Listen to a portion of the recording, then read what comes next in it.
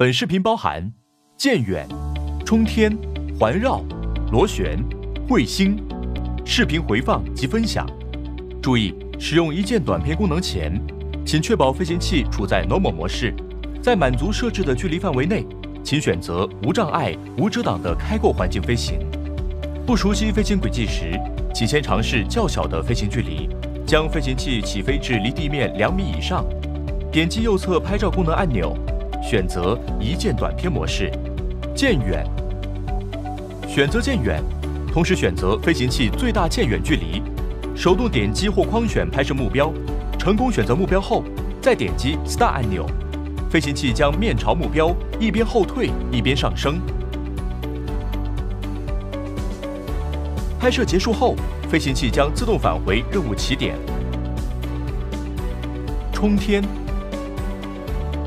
选择冲天，同时设置飞行器最大冲天距离，手动点击或框选拍摄目标，成功选择目标后。再点击 Start 按钮，飞行器将竖直向上飞行。拍摄结束后，飞行器将自动返回任务起点。环绕，选择环绕，同时选择飞行器环绕方向，手动点击或框选拍摄目标。成功选择目标后，再点击 Start 按钮，飞行器将以当前的距离为半径。按照设置方向环绕飞行一圈，并自动录像。螺旋，选择螺旋，同时选择飞行器最大飞行半径和绕行方向。手动点击或框选拍摄目标，成功选择目标后，再点击 Start 按钮，飞行器将以当前与目标的距离为初始半径，参照黄金螺旋曲线上升且后退，环绕拍摄目标飞行一圈。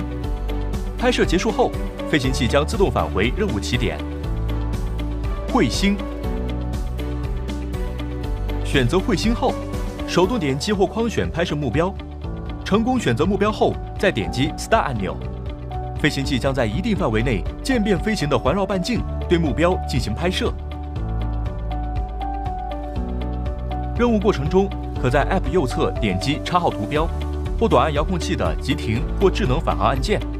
此时，飞行器将会退出一键短片拍摄，并自动原地悬停。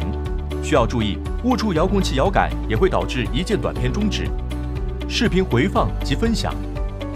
拍摄完成后，点击回放图标，可对拍摄好的视频进行预览。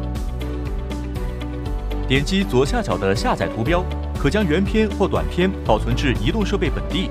点击右下角的切换按钮，可以切换浏览视频原片和生成的短片。